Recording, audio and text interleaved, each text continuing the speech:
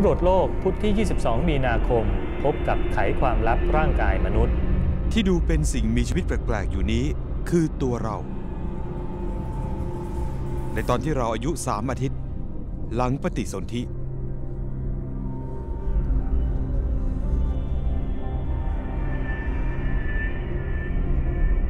ช่วงนี้เอง สมองเริ่มเกิดขึ้น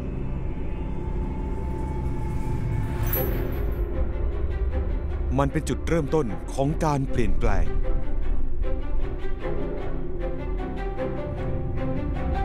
จากเซลล์สมองเล็กๆ มาเป็นเครือข่ายเซลล์สมอง นับพันพันล้านเซลล์ที่อยู่ในหัวของเรา เราเรียกช่วงเปลี่ยนแปลงนี้ว่า วัยเด็กสำรวจโลกจาก Next Step สร้างสังคมแห่งการเรียนรู้ที่ New TV